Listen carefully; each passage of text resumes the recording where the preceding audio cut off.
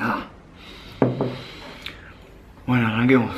Buen día gente fastera, ¿cómo están? Mi nombre es Guido Berna y en este video les voy a hablar sobre las cosas que me hubiese gustado saber antes de arrancar mi camino fitness. Obviamente si hubiese sabido todas estas cosas antes de arrancar mi camino me hubiese ahorrado muchísimo tiempo, muchísimos problemas, etcétera, etcétera. Pero bueno, es lo que hay. Una medida que crece, que va pasando el tiempo, aprende, investiga, experimenta y bueno, llega a donde está.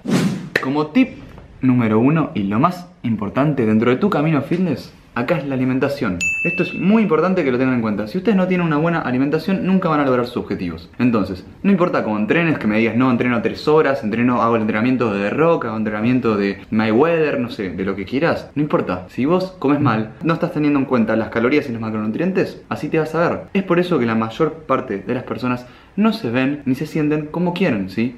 Porque no tienen en cuenta las calorías y los macronutrientes, que es el consejo número uno que les voy a dar sobre la alimentación. Les cuento un poco mi experiencia. Yo cuando empecé el gimnasio, empecé a seguir también lo que me decían supuestos profesionales, gente que entraba en el gimnasio, nutricionistas, etcétera, que en ese momento no se tenía tanto en cuenta todo lo que es las calorías y los macronutrientes, el tema del superávit y déficit calórico. Simplemente me hacían hacer seis comidas y come más y listo. Entonces yo iba todos los días al gimnasio, dos horas por día, además hacía cardio, comía cada dos horas pum, pum, pum, pum, pum. Y bueno, así me terminé, me terminé viendo.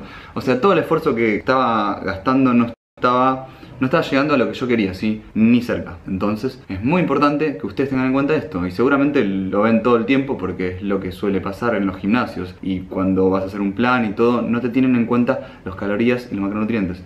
Entonces, ¿qué es lo que tienen que saber ustedes? Si ustedes están sabiendo cuánta energía están metiendo y cuánta están gastando, van a, eh, llegar a sus objetivos de una manera mucho más fácil. Entonces, por ejemplo, hablando de cuestiones de subir o bajar de peso, ¿sí? no me voy a meter en todo el mambo de las hormonas ni nada. Si vos querés subir de peso y estar en el superávit calórico, tenés que comer más calorías de las cuales tu cuerpo consume durante el día. Si querés definirte y cortarte, tenés que comer menos calorías de las cuales tu cuerpo consume durante el día. ¿Cómo hacer esto? Bueno, lo manipulas con la comida, con la actividad. Si hago mucha más actividad y como menos, me voy a marcar más rápido. Si hago menos actividad y como más, voy a subir de peso más rápido. Tema de calorías. Y después los macronutrientes. Ustedes tienen que comer proteína en todas las comidas. Más o menos de 1.3 a 2 gramos de proteína por kilo de peso corporal. Y el resto lo van distribuyendo entre los hidratos y las grasas dependiendo de sus objetivos. Si, si sos una persona que quiere hacer un entrenamiento, no sé, más de fuerza y comer más hidratos, ser una persona que quiere ser más sana, hacer una dieta cetogénica. Ahí terminamos con el tema de alimentación Mega importante. Por eso siempre les cuento a todos que su base de plan de fitness, de su camino fitness, se basa en el 80%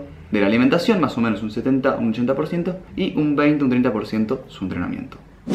Bueno, como punto número 2 y también mega importante el tema del entrenamiento. Primero la alimentación y a lo segundo que le tienen que dar bola a ustedes es el tema del entrenamiento, ¿sí? También me hubiese encantado saber del minuto 1 cómo entrenar. Y ya se los voy diciendo ahora, ustedes tienen que entrenar pesado. Semana a semana ustedes tienen que entrenar su fuerza, levantar más peso. ¿En dónde? En los ejercicios compuestos, como pecho plano, inclinado, press de hombro parado, sentadilla, dominada, peso muerto. Si semana a semana levantamos más peso, vamos a ejercer mayor estrés sobre el músculo, mayor presión, volumen, lo que quieras. Entonces el músculo no le va a quedar otra que crecer y va a ser un tipo de músculo más denso, más fuerte. Entonces, ¿qué es lo que suele pasar? Que me imagino que les pasa a todo el mundo. Ustedes van al gimnasio y les dan la rutina multiarticular de 4x12 y que después te dicen no. Pero la semana que viene 12, 12, 10, 10 y subís un poco la carga y después 10, 10, 8, 8 y así. Y lógicamente, si a ver, esto no quiere decir que no funcione, ¿sí? Pero es un tipo de hipertrofia. Entonces vos arrancas al gimnasio, sos un sedentario, ¿eh? empezás a hacer todo esto y empezás a crecer. Lógicamente, no estás haciendo nada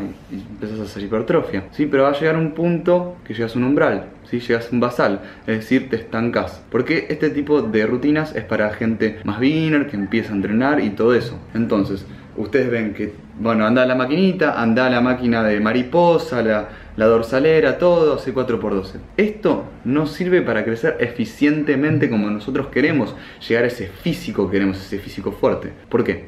Porque, a ver, hay dos tipos de hipertrofia. La hipertrofia sarcoplasmática del plasma, de lo que rodea a las fibras musculares, ¿sí? Que es el tipo de hipertrofia que hace el culturista, que hace pum, mucho volumen, ta, sin parar, entreno un, músculo por día, lo rompo todo. Pero nosotros no somos culturistas, nosotros no nos inyectamos anabólicos y por ende ese tipo de entrenamiento no está tan bueno para nosotros. Acá viene el segundo tipo de hipertrofia, miofibrilar o de los sarcómeros, más reclutamiento de fibras entonces, al entrenar más pesado, el músculo crece más denso y perdura durante más tiempo, que eso está bueno cuando dejamos de entrenar. ¿Se entiende? Entonces, para resumir, entrenas pesado semana a semana en los ejercicios compuestos. Que obviamente esto no quiere decir que no hagas nada de hipertrofia, que en realidad estás haciendo. Además de hacer estos ejercicios compuestos, al final de la rutina uno puede combinar con ejercicios de hipertrofia. Pero bueno, pasemos al número 3.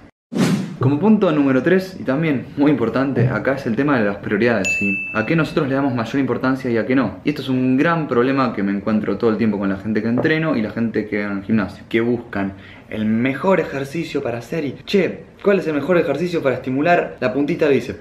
No, Tipo, primero hay dos cosas que ustedes tienen que tener mayor prioridad. Y en las cosas que realmente ustedes se tienen que fijar. Nada más en esas dos cosas. Después pasa a hacer lo otro cuando están más avanzados. La alimentación y el entrenamiento. Si ustedes no están comiendo lo que tienen que comer para nutrir su cuerpo y llegar a su objetivo y no están entrenando como deberían, lo otro no importa. Acá no hay mejor rutina, no hay mejor dieta, no hay mejor plan de nada. Ustedes no tienen que pensar en esas cositas pequeñas que como mucho les suma un 5%. Ustedes se tienen que dar cuenta que sus prioridades son la alimentación y el entrenamiento. Y como punto número 4, acá no hay atajos.